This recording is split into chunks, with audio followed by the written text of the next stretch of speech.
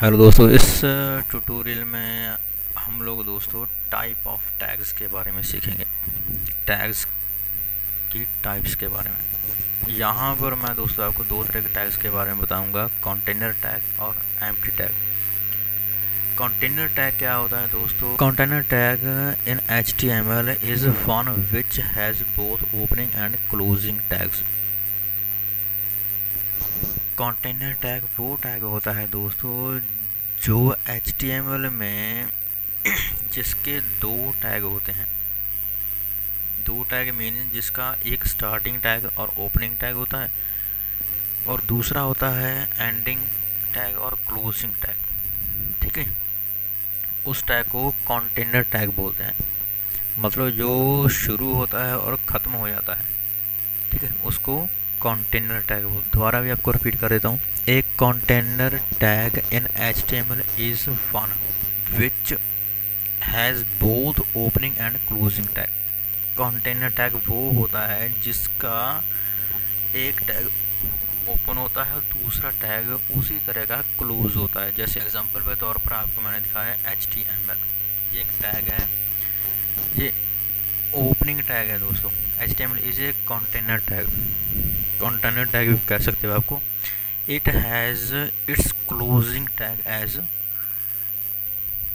forward slash से ये close हो चुका है। सिंपल सा मीनिंग यही है, जिस टैग को आप शुरू करोगे, उस टैग को अगर आप बंद कर देते हो तो उसको बोलोगे आप कंटेनर टैग जो टैग शुरू होता है और लास्ट में वो टैग बंद हो जाता है, उसको कंटेनर टैग बोलते हैं।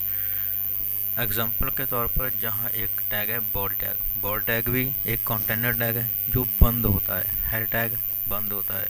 ये टैग भी बंद होता है, ठीक है? एग्ज़ाम्पल है आपके पास. These are called container tags because they contain something within the two tags इनके दो टैग्स होते हैं, एक स्टार्टिंग और एक closing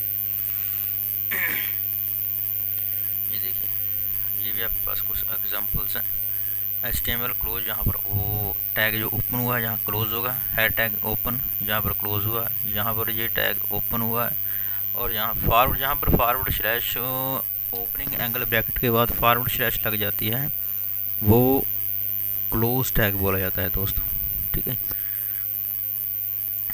These are some container tags उसके बाद है दोस्तों M tag M tag tag होता है जो सिर्फ़ और सिर्फ़ ओपन होता है क्लोज नहीं होता। सिंगल लाइन का होता है, ठीक है? An H T N empty tag refer to M coding where the line of code stand alone is not close with forward slash characters empty tag वो टैग होता है जो सिर्फ़ सिंगल लाइन का होता है क्लोज नहीं होता, सिर्फ़ ओपन होता है, ठीक है? M tag are use to insert insert करने के लिए यूज़ करता है, जैसे इमेज को इंसर्ट करना है तो इस टैग का यूज़ करोगे। बंद नहीं होगा। लिस्ट ठीक है? ब्रेक ब्रेक के लिए बी आर टैग यूज़ करोगे। ये सिर्फ़ ओपन होता है, बंद नहीं होता टैग ठीक है? इस तरह और भी टैग्स हैं, जैसे हाइपर लिंक इस तरह के जो टैग है, वो एम टैग में काउंट होते हैं। Empty tag are bracket by opening angle bracket ठीक है? उसके बाद टैग का नेम दिया जाता है और उसके बाद एंगल ब्रैकेट क्लोज कर दी जाती है। जैसे यहाँ पर आपके सामने एग्जांपल्स हैं। एंगल ब्रैकेट ओपन की। उसके बाद स्पेशल जो भी करेक्टर उसका नेम टैग का नेम उसके बाद एंगल ब्रैकेट यहाँ पर बंद कर। ये सभी एम टैग कुछ एग्जांपल्स हैं, बहुत सारे टैग्स हैं दोस्तों जो यूज़ किए जाते हैं एच में।